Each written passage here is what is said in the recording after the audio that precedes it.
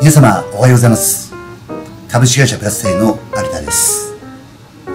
弊社はインターネット上で Facebook ページ制作から SNS の集客までお手伝いしている会社です。今後ともどうぞよろしくお願いします。本日もプラス A がお届けするインターネットコミュニケーションテクノロジーショートリテラシーをお送りします。本日も画面を使ってご説明しますのでどうぞよろしくお願いします。今日を題して Facebook ページから送客のヒントということで、えーリテラシーさせていただきたいと思います。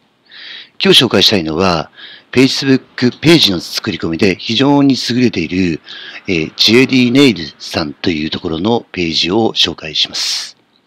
今見ていただいているのが Facebook ページなんですが、いいね数は64,007いいねですね。で、中身を見ていくと、ネイル関係の情報がかなり充実して掲載されています。このページの、えーすごいところは、各投稿が完全にフォーマットされているというところですね。例えば、この左側の、ごめんなさい、右側の投稿を見ていただきたいんですが、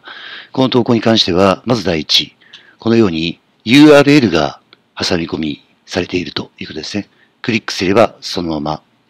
Facebook ページからホームページへ簡単に飛んでいくことができるというところですね。それと、え商品のシンプルな説明がされているというところと、品名品番の記載がしっかりされていらっしゃるというところ。で、最後に、ハッシュタグの利用といって、えーこの、えーシャープを頭につけることによって、ハッシュタグとして記事に投稿することができます。このような形ですね。